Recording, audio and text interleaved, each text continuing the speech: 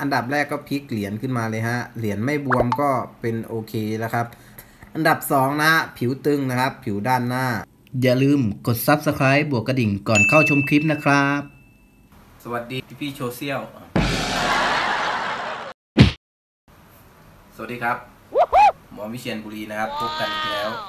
กับการแนะนำรีวิวการดูพระเครื่องหลวงพ่อคูณนะครับ วันนี้นำเสนอเหรียญ17บล็อกนวะ หูขีดไปชมกันเลยครับ โอเคครับเรามาเข้าเรื่องกันเลยนะฮะสำหรับเหรียญ17บล็อกนวะหูขีดนะครับ อันดับแรกนะครับดูยังไงนะครับเป็นบล็อกนวะนะครับ ดูยังไงเป็นบล็อกนวะ ให้พลิกมาที่ด้านหลังครับพลิกมาที่ด้านหลังเลยนะฮะพี่เห็นตรงคำว่าอำเภอเมืองไหมฮะตรงอำเภอเมืองเนี่ยฮะก็จะมีเส้นสะดุ้งเนี่ยฮะเนี่ยตรงเนี้ยฮะเนี่ยฮะ อันดับที่สองนะครับ เพราะอะไรถึงเป็นนวะหูขีดนะครับอ่าให้พลิกกลับมาที่ด้านหน้าครับ แล้วมองไปที่ตรงหูหลวงพ่อนะฮะฝั่งขวามือเราแล้วกันอ่าเห็นไหมครับ เห็นไหมครับ เห็นนะครับ เห็นนะฮะ จะมีขีดตรงนี้นะครับสเต็ปการดูก็ง่ายๆฮะ อันดับแรกก็พลิกเหรียญขึ้นมาเลยฮะ เหรียญไม่บวมก็เป็นโอเคแล้วครับ เหรียญไม่บวมหน้าบวมหลังก็โอเคแล้วครับ อันดับสองนะฮะผิวตึงนะครับ ผิวด้านหน้า และด้านหลังตึงนะครับ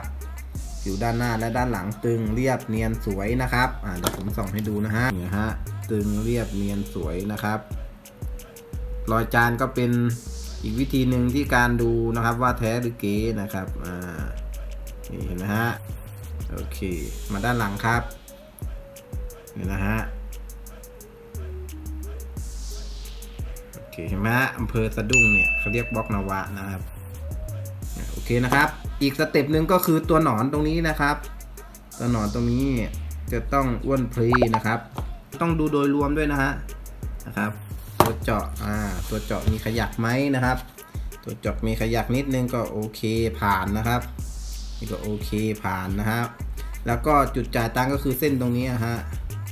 จึ๊กแล้วก็วิ่งมาปื๊ดตรงนี้นะฮะนี่คือจุดจ่ายตังของผมนะครับ อันนี้เป็นเทคนิคการดูพระง่ายๆ สไตล์อมวิเชียนบุรีนะครับอ่าโอเคนะครับสำหรับเหรียญ17บล็อกนวะนะครับ ถ้าใครอยากดูบล็อกอื่นๆ ไปหาดูเอานะครับ ผมทำไว้ให้แล้วนะครับนะอ่าโอเคนะครับสำหรับเหรียญ